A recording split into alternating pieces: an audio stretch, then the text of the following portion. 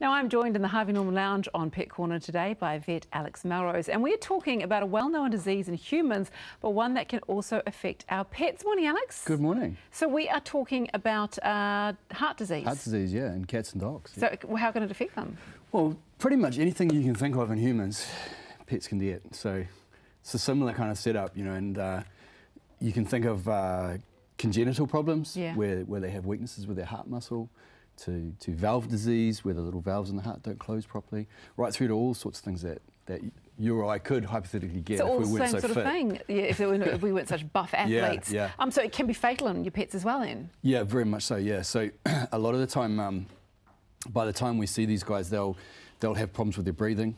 Um, they'll be carrying a lot of fluid in their chest.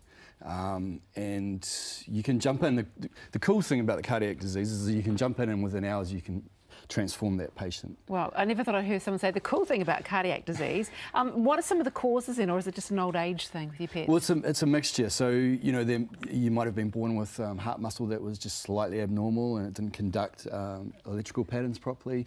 Um, the, the valves of your heart, certainly, as you age in, in cats and dogs, you know, the, the valves start to not close perfectly. As the, as the heart shape distorts slightly, the valves yeah. will, will become distorted and they won't shut properly. So the heart becomes not as efficient at pushing blood around your body. So you mentioned the um, the breath thing, obviously, is yeah. one of the symptoms. What yeah. sort of other symptoms can you look for in your animal? Yeah, sometimes it's more subtle. Uh, you, you, know, the trouble is if it's just a reduction in exercise tolerance, so they're not as keen to walk and not as keen to do exercise, people will often put that down to aging. Yeah. And it, and it may not be at all. It may be that they're just getting a low level of fluid build up in their chest. And at that level, you know, we can do a lot very quickly to help them. Are there some advanced sort of things you should be looking at for as well? Yeah, a lot of coughing, sudden coughing, um, obviously collapse. Mm. It's quite a common one. Um, a good thing to do is to, to look at how much the chest is moving on, on your on your cat or your dog, and if it's if, if you can see they're putting a lot more effort in, especially abdominal effort, mm. that'll be a real clue that something's changed in that chest cavity. Can you actually give CPR to yeah. animals, to your dog and cat? Yeah. Yeah, so do I don't do? want you to try it at home. No, no. I'm not going to, but promise? that's something okay. that you can do mm. as, a, as a vet, mm -hmm. but not something that we should do if our animal collapses. Not really. I think, I think the best thing to do in that situation is just to get them in the car and start driving to your closest vet as quickly as possible. Yeah. But yeah, we can. We literally. I mean, I've done it plenty of times. We, very similar to a human model. You you you know you you're doing chest compressions. Yeah. You have to go pretty hard out without, but not too much. You break the ribs. Which is why you need to do it, and not us. Yeah, yeah, and and I mean even in the, in the worst case scenario, in a very large dog like a, mm. a Great Dane or something, I've sometimes you have to actually open the chest cavity and okay. compress the heart directly. Oh right. Because you can't you can't you can't compress the chest hard And enough. that is not something that we'll be doing at no, home. Um, no. How do you test for heart disease at the clinic? Uh, hey, great, great question. These days you can actually, there's some blood markers, so you can blood test for mm. early heart disease, which is a really cool, uh, you know, sort of thing that's just become available in the last few years.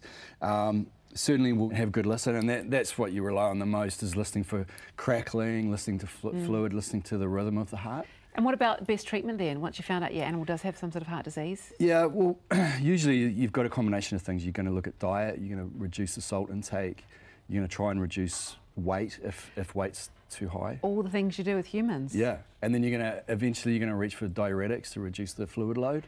And what about prevention? Uh, Watch the diet. yeah, get, not letting them get heavy, um, and then getting them checked regularly so that if it does start to happen, you get it really early and then you reduce the load on the heart early with, with medication. So they can recover? Yeah, they can recover. Um, you know, once they collapse, you're in a bit of trouble. Yeah. But having said that, I, have had patients come in that have collapsed and I've thought, man, they're, they're about to die. And we've turned them around with medication and they've lived for a couple of years and had those, a good life. One of those nine lives. Yeah. Well, that's interesting, yeah. actually. Really interesting. Thank you so much for coming in. My pleasure. Always interesting. And don't forget, if you go to energyplus.co.nz, enter the code PET Corner, you will receive 25% off Energy Plus products today. And now to our pet of the week. Congratulations to Indy and Eddie. $50 to spend at petpost.co.nz is on its way to your owner, Donna from Greenhithe. And if you would like to enter your pet, and it can be any type of pet too, just upload a pic on our Facebook page.